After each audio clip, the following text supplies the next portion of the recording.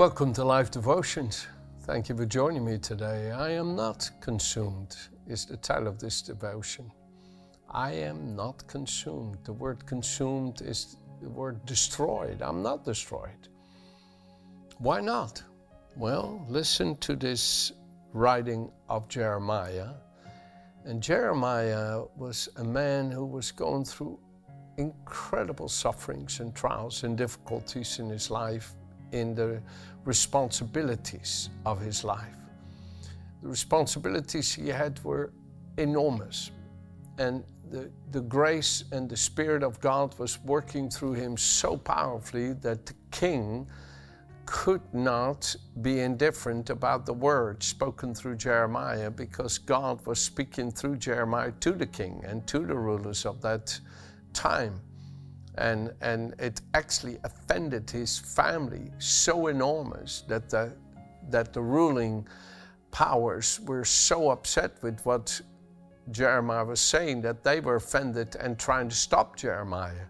And Jeremiah had moments when he thought, okay, okay, please. I mean, I'm only just saying what God says. So, but God admonished, admonished his servant and said, You may not stop speaking on my behalf because you're my representative. And if you stumble with the footmen, your family members who argue against you, then how can you stand up against the horsemen, the rulers? And that is what that statement that's used nowadays, even still, uh, really meant. In other words, don't let what your parents, your family uh, say about you bother you, and I want you to be able to speak to kings and rulers. Actually, the king had a real love for Jeremiah and, and secretively was trying to keep him alive when the other princes, who the king didn't dare stand up against, was trying to kill him. So, anyway, it's all interesting how that all was happening. And here, in the middle of all of this, when Jeremiah was thrown into a pit and was up to his chest in the muck, in the muck in the bottom of that pit, where he should have died, but the king secretively brought him food. The king could have pulled him out, but the king felt intimidated by his princes and everybody. And, and Jeremiah was really going through some serious stuff there. And then look what he says in the midst of all of this. Verse 22 of Lamentations 3 Through the Lord's mercies, we are not consumed because his compassions fail not. Wow. I'm not consumed because I know you love me. I know you love me. I know it's trying to kill me what I'm going through. I know I should have been dead already, but I'm not because your compassions fail not. Your love for me is unfailing. I'm not destroyed because your mercies fail not. Come on, let me read it again. Through the Lord's mercies, we are not consumed, we're not destroyed. It's because of His absolute, unfailing mercy that I am not destroyed. In Malachi, it says in chapter 3, verse 6, chapter 3, verse 6, For I am the Lord, I do not change, therefore you are not consumed. Now, what does that mean to you? To me, that scripture has helped me when I should have done better, could have done better, when I really knew, knew better, you know, and I just, Ah, I don't know, what can I say? I made a mistake, I disobeyed, or whatever. And that should have destroyed me the Lord upheld me. And that I know for a legalist is unfair because they always think that everybody should just reap everything they sow. How they, however, they themselves don't like to be held responsible for what they want others held responsible for. I know that sounds a bit harsh. I didn't mean it to be hard, but sometimes we hold other people responsible for things that we ourselves want to have mercy for, and that, that's not God. God says, Be merciful as I've been merciful, or He is merciful to the merciful. So you've got to be able to extend the same mercy to others the Lord has extended to you. And, and we could sometimes be quite judgmental with others while ourselves enjoying God's goodness. And I can tell you the truth that I'm here before you today because God's mercies haven't failed. He has been the same. He says, For I am the Lord, I do not change, therefore you are not consumed. It's because God has been so faithful to me that I am here and alive. So, in other words, to Him belongs the honor and the praise. To Him belongs the honor and the praise. And I really believe this with all of my heart, you know. In Psalm 78, that is one anointed psalm. Wow, Psalm 78. He says in verse 37 For their heart was not steadfast with him, nor were they faithful in his covenant. But he, being full of compassion, forgave their iniquity and did not destroy them. You see what I just quoted from Malachi 3, verse 6? I am the Lord, I do not change, therefore you are not consumed.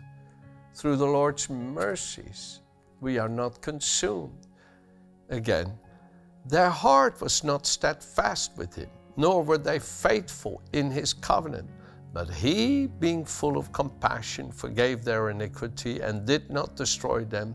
Yes, many a time he turned his anger away and did not stir up all his wrath.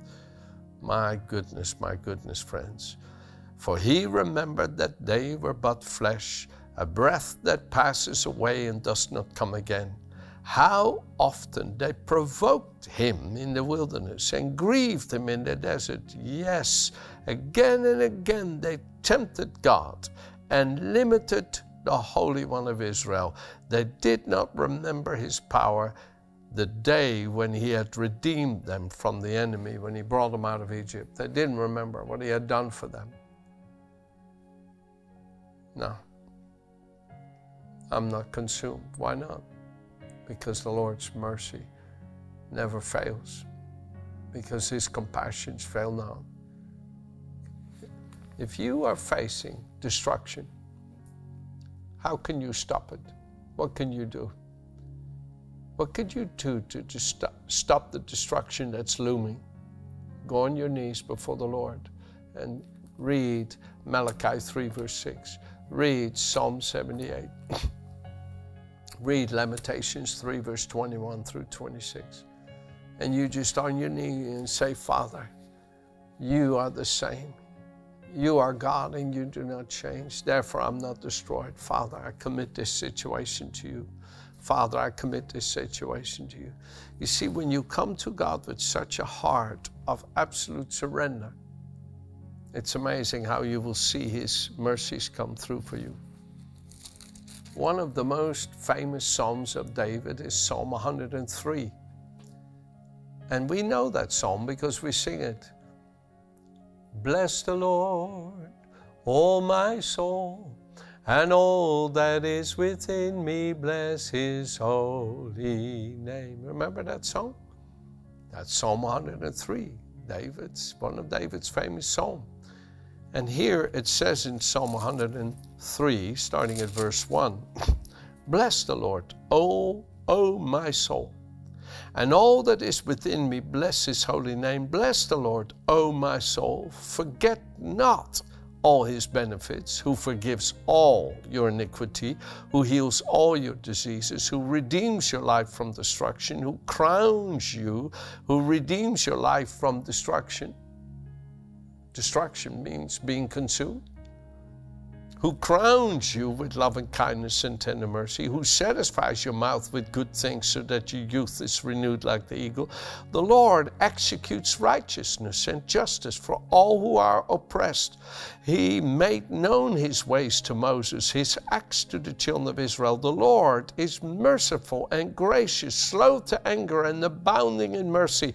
He will not always strive with us, nor will he keep his anger forever. He has not dealt with us according to our sins, nor punished us according to our iniquities. For as the heavens are high above the earth, so great is his mercy towards those who fear him. As far as the east is from the west, so far has he removed our transgressions from him as from us. As a father pities his children so the lord pities those who fear him. You see it? I'm not consumed. Why not i'm not destroyed. Why not? Because the lord's mercy. Because his mercies fail not. Great is his faithfulness. His compassions are so wonderful. His love is so unfailingly true. I'm not consumed. I should have been consumed many times. Many times I should have been consumed, folks. In my lifetime, I could take you back to many, many, many, many instances that I should have been consumed, that our marriage should have been consumed, that Life Church here should have been consumed. Many times. Oh, I've had somebody scream at me with the voice of the devil that church will be destroyed. but it wasn't destroyed. Why not? Why not? because of the Lord's mercy. And I know that I know it. I know we are a witness of His mercy and grace. We're testimony of God's unfailing love, of His great faithful mercies. Now, come on. Begin to say it. I'm not consumed. No, no. And maybe something is trying to destroy your life, destroy your marriage, destroy your business, destroy your finances, destroy your what? Say it. I'm not consumed. I'm not consumed. I'm not consumed. Hallelujah. Lift your hands and say it. I'm not consumed. Oh, Father, I thank you. I'm not consumed. I'm not destroyed by this. I thank you, Father. I thank you. Oh, I feel the anointing of God coming out towards you. So be, keep believing and saying it, and you will see how the Lord is faithful and true. Amen. Have a good day.